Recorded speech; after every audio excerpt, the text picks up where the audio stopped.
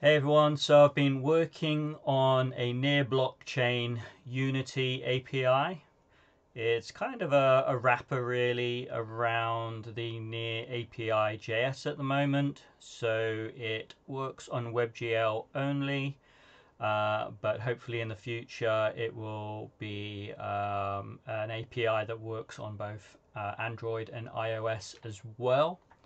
Uh, so let me just demo its capabilities. So what we can do here is you can either download uh, the zip and unzip this and then uh, open it in Unity or I am going to do that.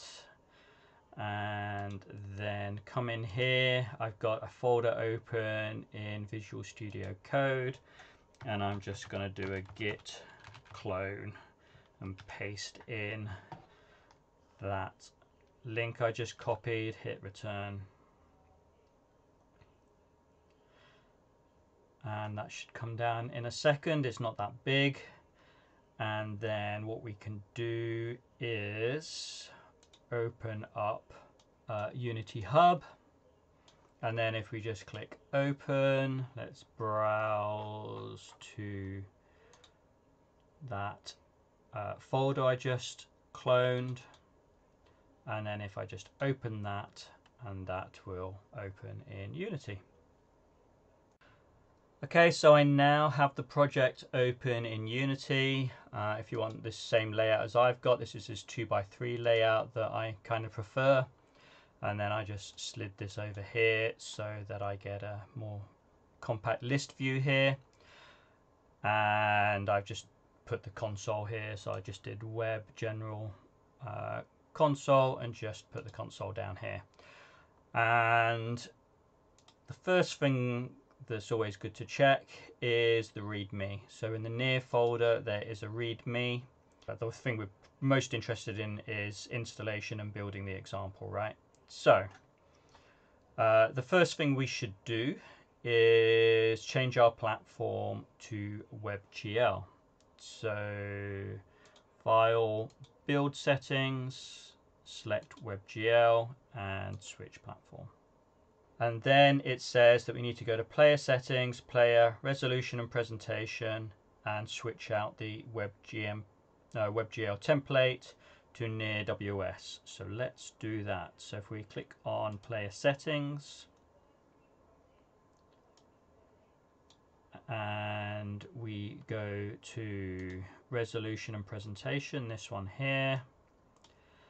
And we've got default and minimal but these won't work. We need to choose one of these. And near WS is the sort of larger more complete one. It supports the whole API so that is a good one to start with. So so we've done that. So now we can uh, close that and then if we just want to see uh, the example in the editor, let's just open our menu scene. And if we hit play, we can see um, it kind of pretending to work in the editor, but it doesn't really work. Uh, it needs to actually be deployed to work, but at least you get some semblance of what it would look like uh, once deployed. So if that's all working, then we're pretty good to go. So if we go build and run, and let's create ourselves a build folder, like so, and select that, and that will go away and build the project. Cool, so that eventually got built and we've got this web page open now. And if I hit on the NFT example uh, we'll see that we need to sign in. So if we click on sign in we will go to the uh, wallet testnet because we're on testnet at the moment. So the near wallet testnet site uh, let's log in with an account. That'll refresh and bring us back to our first page. But now if we go into NFT example, we are nice. We are now nicely signed in, and uh, it says welcome to the account that we just uh, logged into, and now we can go away and get some NFTs.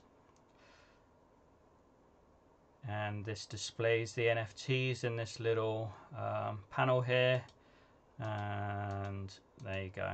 That's your the very basics of integrating some NFTs into uh, a Unity game. So you have a, a, good example there of just how to do that. If we come back here and we have a look at the contract example, this is essentially what that uh, other page is doing, but a little bit more visibility. You can see that we're on testnet, we're calling this particular contract, we're calling this particular method on that contract and we're sending through these arguments. So if I hit call contract method here, this is the JSON that we're getting out and that first example shows how we use that JSON to display um, these characters uh, in a panel. So we can also um, try out calling different contracts on this page. So this is an example of interacting with the guest book uh, contract. So we can call the add message method on that. Uh, make sure you tick uh, is change method because this will make a change. So let's just put one, two, three, four, five, six in here, say, and call the contract method. And I've probably called it before, so uh, it's not really updating this, but if we bring in up the inspector and go into the console, we can see that um, other than these weird um, warnings we haven't got any errors there so that probably was happy. So let's have a look and see if we can call get message uh, let's actually add one more message just for the heck of it. So if I call this um, near unity API test and click there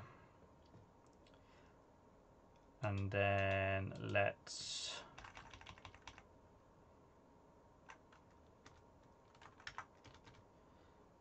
call get messages. Untick that. Don't care about these args. So if I click that then you can see that actually these changes happened here. We did this one two three four five six and this near unity API test. And so um, that updated the contract like so